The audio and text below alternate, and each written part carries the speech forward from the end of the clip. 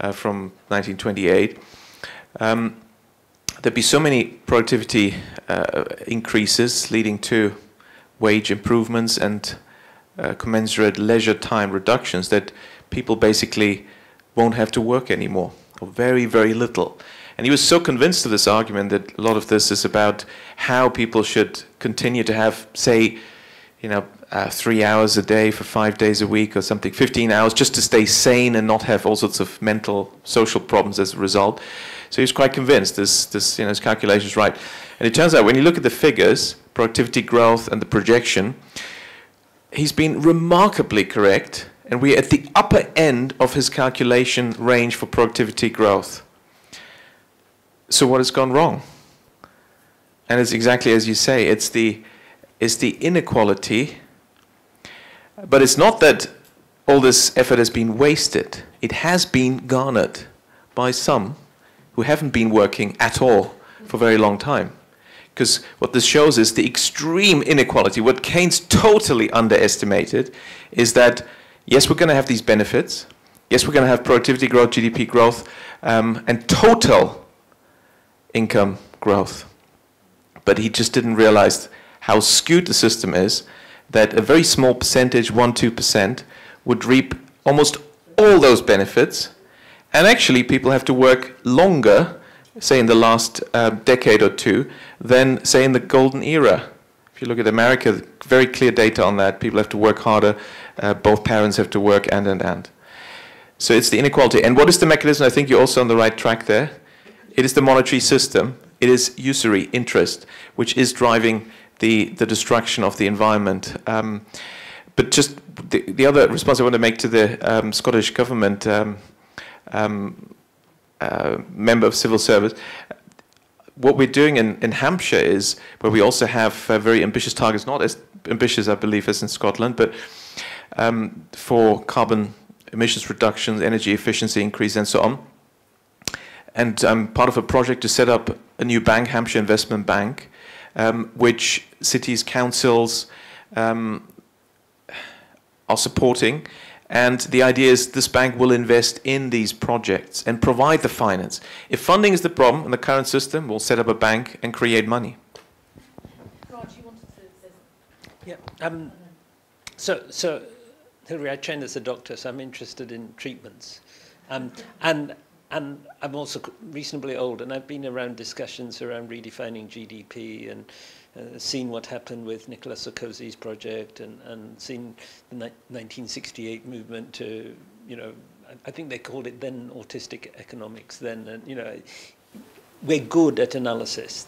Definitely, we know that. We're definitely, definitely good at analysis. We're not so good at actions which are geared to have the impact that we want. And I think we need to put the effort that we put into analysis into looking at what we have to do to have impact.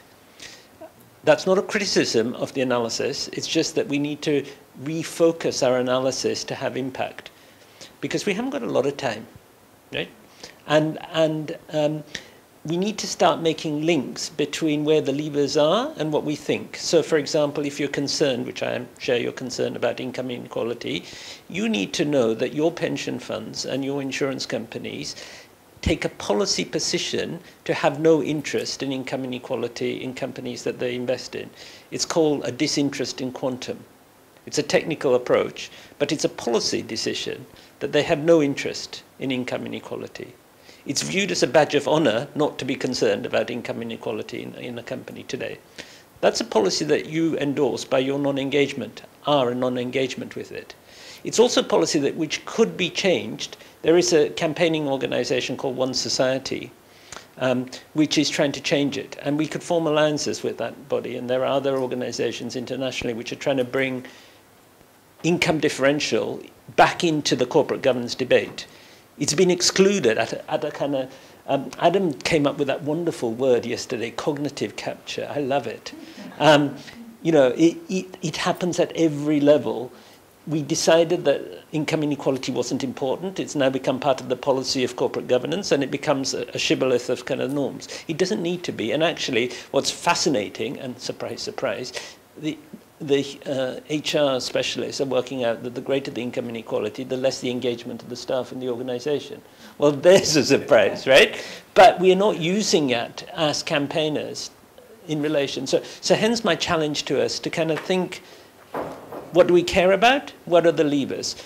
I love the fact that Scotland's uh, ambitious about it. How much you can protect Scotland in a, an oasis that's uh, coming underwater, I'm not sure, but nevertheless, let's go for it. And one of the things that you can, you can um, do, I think, a, a, an easy win, is uh, eco-efficiency on buildings. A huge sink uh, of energy at the moment the institutional investment system has a, has a, an agenda there which you could be working with. And there's a project um, called GRESB, which I'll tell you about, where you could leverage the institutional power. And it's huge in Edinburgh. There's no one here from the Edinburgh investment community, as far as I know. But that's a function. Oh. Owen Kelly is upstairs. Okay, but, but there's a huge missing gap. So I, I want to challenge us to say, think practically as well as, as uh, intellectually. Okay, well, um, let's just we can be a bit um, loose about you know the, the tea break. So if we could just use like seven minutes to focus on leverage and practicality, and there's you, you, you, Mary. The, the concept of leverage and practicality appeals to me a lot. I like to take a systematic approach. You know, lots of businesses now take systems thinking approach and progressively transform the business. No reason why we can't do that with finance. I think the issue is motivation and a mandate, and I think we can tap in to indignation on the very point you were making there on inequality. I mean, Stuart Lansley has recently identified that in 1977, the bottom 60% of wage earners in the UK were earning 40% of national income. By 2008, that dropped to 33%. He was up here three weeks ago telling us he thinks it may now be, might be 32 or 31%. You know, and if GDP 64% of personal consumption, we've shrunk the engine, and the people that have harnessed the money at the top end are now investing in um, hedge funds and, and commodity speculation that makes things even worse for those at the bottom. So I think there's a, a big indignation thing that, that, that goes on. There's people in the States like Elizabeth Warren identifying that uh, middle class uh, families that had a good lifestyle in 1970, to emulate that now with health doubling in cost, education, housing doubling in cost, two-parent families in, in work having to pay for childcare and extra car. They, they've held on to their lifestyle, but they've just doubled their exposure to catastrophe. You know, so I think the, the indignation there is there for us to, to tap into, and I think we have to do that soon. Thank you, Jim. Um, I've got a little example of people as a force for good rather than finance. Um, and it might draw together some of the facets, the political, the personal, the economic that we've been discussing. I work for a charity called Community Energy Scotland, and what we do is help community groups that want to develop their own renewable energy projects. So very interested in the idea of energy as a basic commodity that ties together all sorts of social interactions and value.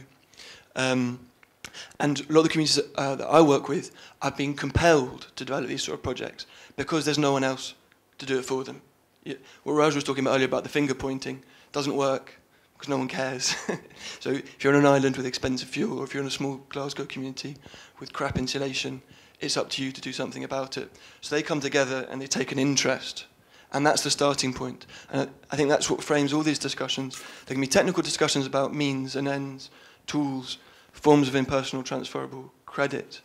But there's got to be the will in the first place to engage in that process. Um, and the, the challenge, in my experience, my practical experience is, if you're doing something like a community share offer, who assesses the risk? Who do you trust to do the risk assessment? If you're doing something like a community share offer, what sort of level of return is sufficient to generate investment? And what you're up against is a system of alienation of risk, which is very attractive, a system that can offer compound growth and interest, very attractive. So how do you overcome that?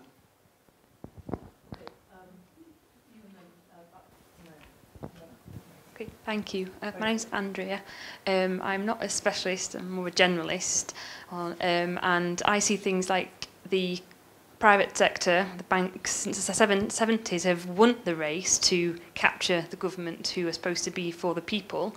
And um, so it's now for the people, um, be it the shareholders. But I don't think that is perhaps the going to be the, the golden bullet to uh, recapture the government to um, act for everybody um, if we have governments. And that's what they're supposed to be, be for. I, I'm not a communist. I'm, I'm you know, um, not any, any different things like that. But I just, just think um, it can, you should think about it in terms of, um, we should think about it in terms of um, simplistic, because the media and everybody tries to make it, and the finance community, too hard to understand. And it should be in terms of weighing scales. You've got concentration of power, the finance community, capture the government, the, the weighing scales up here, the people down here. The people need to bring the government back to the people to make the weighing scales uh, balance again.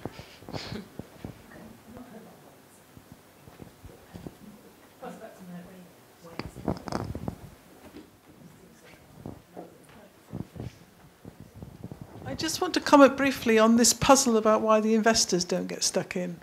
And I think it's got to do with the problem of the kind of logic of capitalism up against the democratization of capitalism. I think this is the real problem we've got. Ever since the idea was that everybody could have their little pot of money, everybody could have their pension fund, everybody could have their rising house prices, we've got a system which has brought in far more people than it can sustain as um, rent extractors, as, as it seems. And, and so we, we, a, a political promise was made to people that if they just stuck their money in, it would be all right. And of course, we did get that stock market boom when all the pension funds went in and the endowment mortgages went in. Um, and I think we've, we've, we've forgotten that, in fact, these can't follow a capitalist, a capitalist logic because capitalist logic must have failure in it. Creative destruction, the old Schumpeter thing. Um, but what the pension funds and insurance companies need is permanent growth, security, 25 years of it. And in fact, what they need is government debt because in the end, they've got nothing to invest in. Uh, that's their last resort is government debt. So they've got a, an interest in the government maintaining its debt. But, uh, uh, and so, in a sense, all these institutions are really not they, they, they, they've been sort of been privatized, but in fact, they're still public institutions because they cannot lose. And in capitalism, you must be able to lose. And so, therefore, they, they, Thatcher was totally wrong. You can't have democratization of capitalism because then you can't follow the capitalist logic. It always used to be you should only invest money you can afford to lose. That was always the rule, wasn't it, about capitalism? People would invest money they could afford to lose. Well, these people can't afford to lose anything. So the system can't work. No, I think that's really, uh, we're going to have to end. And there's one guy who just had his hand up consistently. and so um, maybe two, it could be both one minute each. Hey Mary, can you just pass the microphone? Yeah, two very quick points. One, uh, one. one. okay. um, state capture is nothing new. The limited liability company was invented to operate on the benefit of the community. The, the benefits to the community have been systematically removed from the legislation, leaving the limited liability company as being only entitled to act in the interests of its shareholders. And that was one of the earliest state capture things. The other thing is we are not in the control of governments, we're in the control of an international monetary system that creates vast international regulation through the WTO, through the IMF, the creation of vast amounts of fictional money, which is lent to governments throughout the world and forces those governments to impose policies that destroy the lives and livelihoods of billions of people all over the world. I, I, speak as a former investment manager, now working for an NGO, um, and um, I think, uh, in reply to you, Raj, that, that the industry, the pension fund industry, and the big institutional holders are getting better. They're being held to account by, as you say, the likes of ISS, um, PIRC, and um, other organisations that tell them how to vote, and their own corporate governance teams. I agree individuals need to get involved as well, but writing and saying to company X, you're bad, isn't going to work. And what is needed and what we should be pushing for is transparency from companies. And that is getting better, but it's very slow. So we can't see the inequality of incomes because companies have not, they've just said X number directors earn Y amount, and it's not broken down, and nor are the risk policies and, and environmental awareness. That's all changing. But that means not being fobbed off when a company says, tick this box, we'll just send you a little tiny pamphlet about what we've done in the year um, if you really want to engage, really want to understand, really want to involve and ask intelligent questions, get the full document, read it through, and, and then respond um, with something that's hard hitting. Okay, well, hard hitting is a good note on which to stop, I'm afraid. Um, but I think this discussion has shown that we really must um, be organising further discussions of this kind that feed into the kind of strategic action that all of you have pointed to. So Robbie, it's Robbie, isn't it, Yep. has been writing notes, which I hope will then go out to everybody. And then hopefully, you know, I don't know if the organisation that organises this will repeat, uh, will not repeat, but move on. But I'm sure that there are enough people here who are networked and can be thinking of how to take some steps forward. Thanks very much, and thanks very much to the, to the people that introduced the speakers. Really good. WDM, yeah, and also, um, Simple Ed